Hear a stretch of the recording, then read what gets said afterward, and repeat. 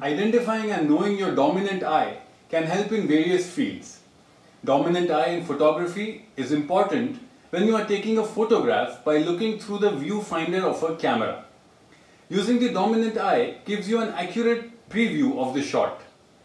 Eye dominance becomes important in certain forms of sports too.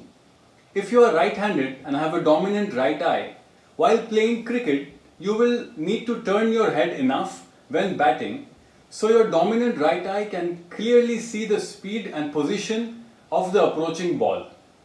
While playing golf too, the proper alignment of putts, shots and drives requires adequate head turn to fully use your dominant right eye to visualize the shot you're about to take. If you are seriously into sports, consider visiting an eye care practitioner who specializes in sports vision. Now what is a dominant eye?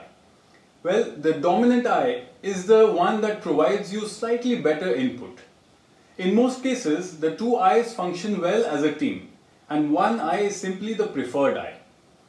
In some cases, the term dominant eye is used to describe the normally sighted eye in cases of amblyopia and strabismus.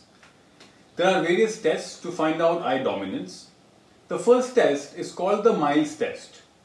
To do this, you need to extend your arms out in front of you and create a triangle shaped opening using your thumbs and forefingers by placing your hands together like this.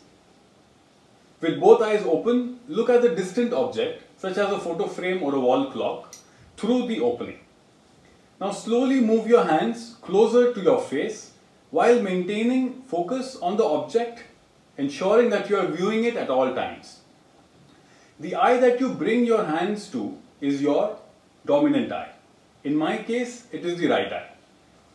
Another way of doing this test without moving your hands is to simply close your left eye while the object is inside the triangular opening. If the object stays inside the opening, then your right eye, the one that is open, is your dominant eye. If the object no longer is inside the triangular opening, your left eye is your dominant eye. The next test you can do is the Porta test. The observer extends one arm, then with both eyes open, aligns the thumb with a distant object. The observer then alternately closes his or her eyes or slowly draws the thumb back to the head to determine which eye is viewing the object and that is the dominant eye. The tests I have mentioned till now are efficient sighted techniques to determine your dominant eye. For the interest of my dear students watching this video, I will share three more techniques that can be performed by an eye care practitioner in a clinical setup. One of these techniques is the Dolman method, also known as the hole in the card test. The subject is given a card with a small hole in the middle and is instructed to hold it with both hands. The subject is then supposed to view a distant object through the hole with both eyes open and then is asked to alternately close the eyes or slowly bring back the card towards the head while maintaining focus on the object that was being viewed. This will determine which eye is viewing the object and that will be the dominant eye.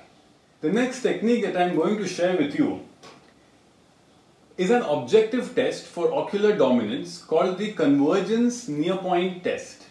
The subject fixates on the tip of a pen or pencil that is moved slowly toward the nose until one eye diverges. The eye that diverges is the non-dominant eye. The other technique is the lens fogging technique.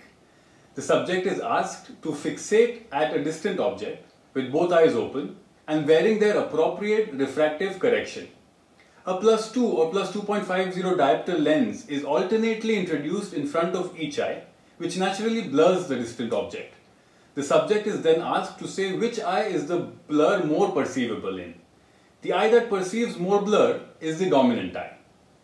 There are also non-sighted dominant eye tests in which the subject keeps both eyes open and visual stimuli are presented to each eye separately with the use of a special optical device. In most cases, simple sighted eye tests like the ones I described earlier in the video will accurately identify your dominant eye. It is possible to have no eye dominant, yes, but it is uncommon. Dominance is not related to being right or left-handed. Someone who is left-handed can be right eye dominant. I hope this video has been informative and helpful to you. Please do share about the sports you play and any specific queries or challenges that you might have faced in the comment section below. Looking forward to meeting you in the next video.